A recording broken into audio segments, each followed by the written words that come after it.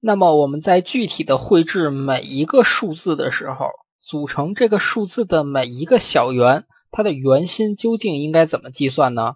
我们在这里啊具体的分析一下。那么面对这样一个七乘以十的二维数组，我们把每一个小圆啊放大一下拿出来看，我们可以看出来，我们设计的每一个小圆啊，在一个格子里。如果我们假设这一个小圆的半径是一个大二的话，那么由于我们希望小圆和小圆之间有一定的空隙，这样呢显示出来好看。那么事实上，我们这个圆心距离包含这一个小圆的这个外边框的距离呢，就是二加一。我给它多留出来了一个像素。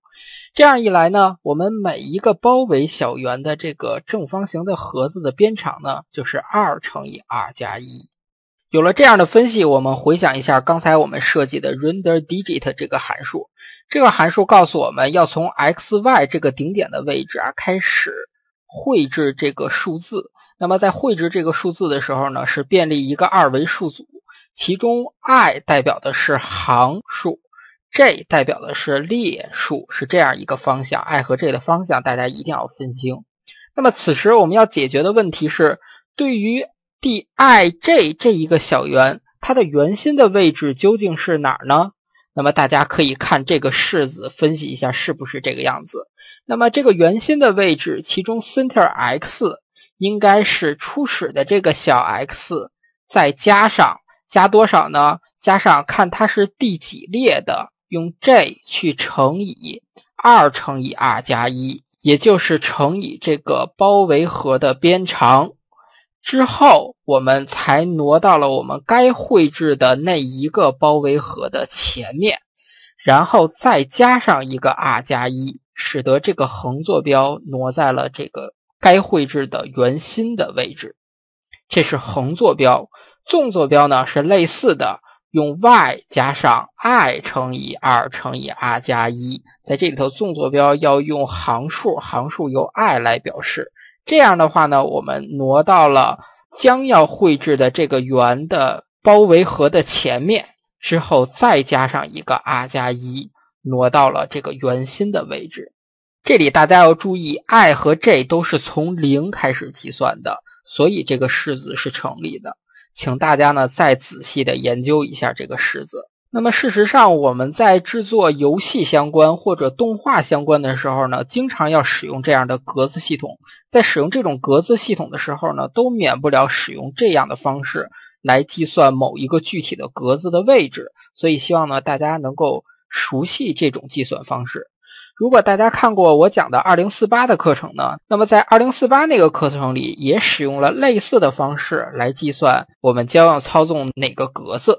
大家呢也可以对比一下，深入的理解一下这个具体的计算方式。我们以后还少不了和这种方式打交道。比如说，对一个图像进行处理，那么每一个图像其实就可以看作是一个格子系统，其中每一个点就是一个像素，每一个像素存储的是这一个点上的颜色值。我们还是需要使用这种方式来具体的看我们要操纵哪种像素。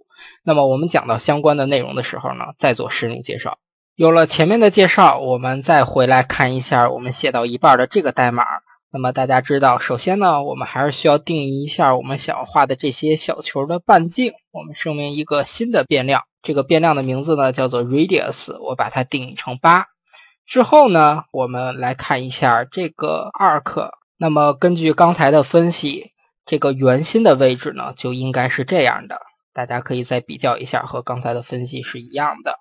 第三个参数呢是半径，那么这个半径呢就是我们刚才新建立的这个变量 radius。之后呢，由于我们要画的呢就是圆，所以我们从零一直到二乘以派的值就可以了。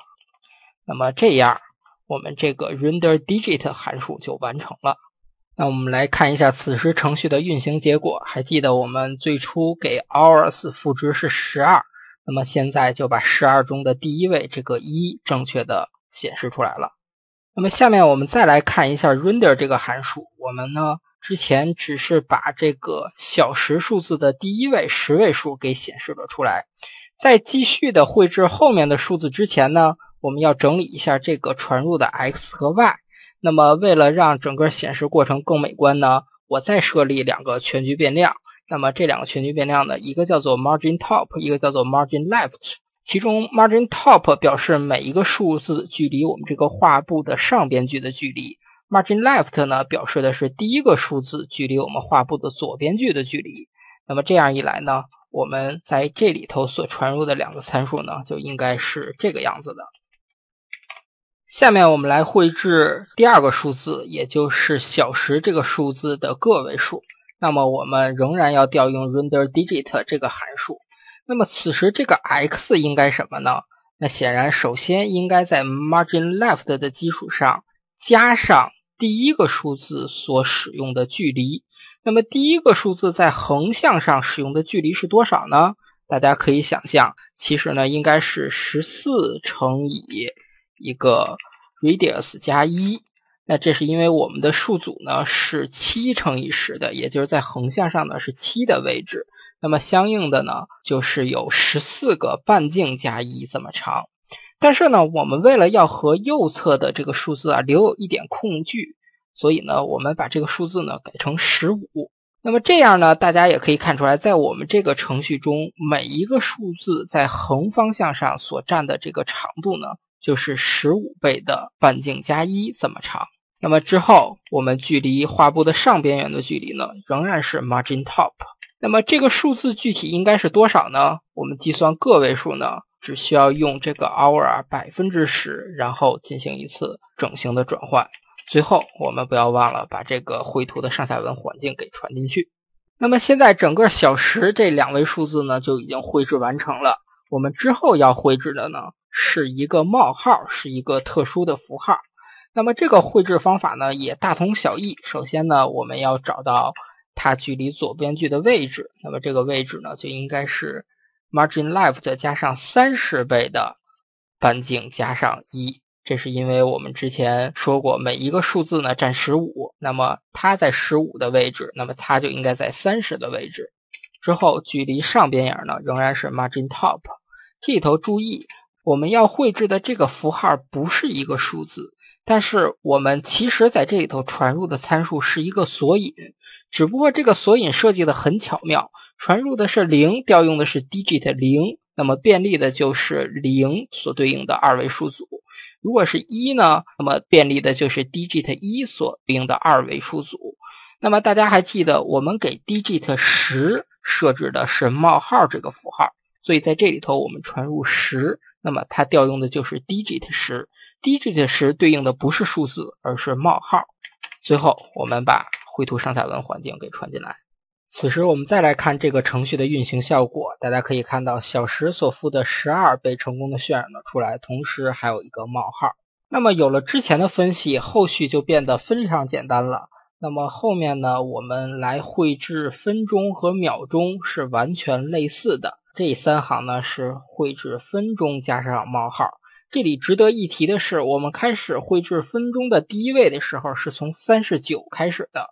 这是因为冒号那个数组是一个四乘以十，宽度是四位的这么一个数组。那么根据我们刚才的分析，我们用四乘以二得到八倍的边长，再留一点空隙，加上一。所以在三十的基础上呢，加上九得到三十九，也就是冒号这个字符呢占的宽度呢是九。之后我们绘制分钟的十位、分钟的个位以及又一个冒号，最后绘制秒钟。那么大家呢可以再看一下这些数字的计算呢是不是正确的。此时我们再运行我们的程序所得到的绘制结果就是这样的，是不是非常酷？但是这个时间只是我们固定的写入的一个死的时间。那么我们如何能够获得当前距离我们要倒计时的那个时间之间的这个时间呢？那么在下一节里，我们花一些时间来研究一下 JavaScript 时间相关的函数。